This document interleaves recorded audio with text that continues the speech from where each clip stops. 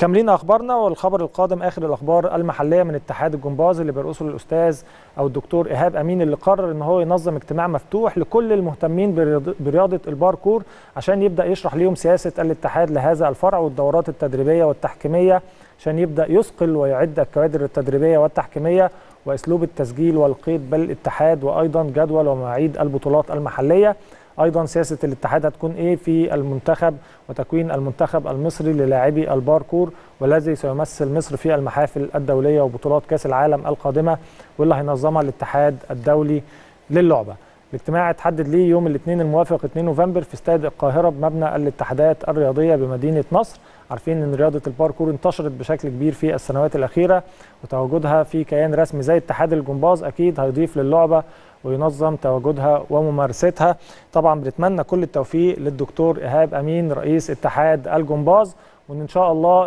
رياضة الباركور تجني أيضا ثمارها في مصر وتبدأ تنتشر بشكل جيد وتكون إضافة لرياضة الجمباز.